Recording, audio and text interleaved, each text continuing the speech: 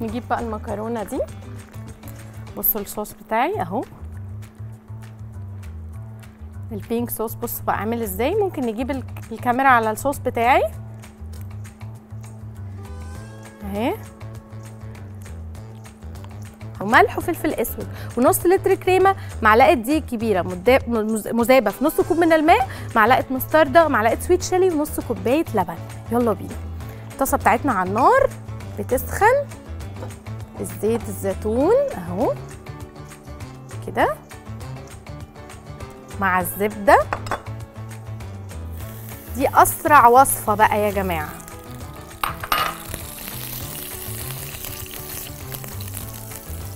كده. هضيف على طول التوم. سمك أي حاجة سمك؟ يعني توم كتير. أهو. قبل الجمبري هحط الكرفس. ما أيوه التوم والكمون ما إحنا قلنا كده في حلقة الجمبري. الكرفس أهو. الكمون أهو عشان مستر أحمد حسين ما يزعلش. أهو. شفت الكمون؟ طب شفت بهارات السمك؟ دي فيها كمون برضو. متقلقش. كزبرة الناشفة. صباح الفل يا طارق. فل زي حضرتك. صباح الهنا. عاملة إيه؟ تمام؟ بتحب المكرونة طبعا. كل الرجالة. بتحب المكرونة. جدا. طب بتعمل أكل ولا لأ؟ الحاجة الوحيدة اللي بعملها مكرونة بس. بجد؟ طب جرب. المكرونات بتاعتي بقى وقول لي إيه رأيك. آه والله يا كمان أنا بصور أنا بصورك فيديو كمان عشان لما أجي أعملها. بألف هنا يا رب.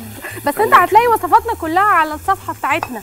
أكيد يا فندم أكيد وهتلاقيها على اليوتيوب كمان.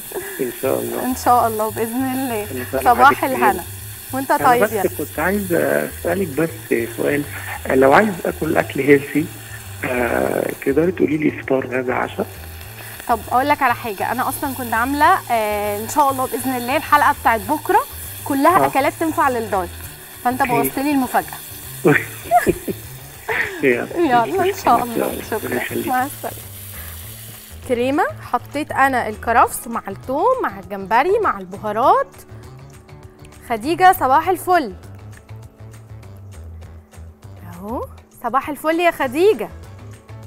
اديه مدوبينه في مية. يا خديجة. خديجة راحت.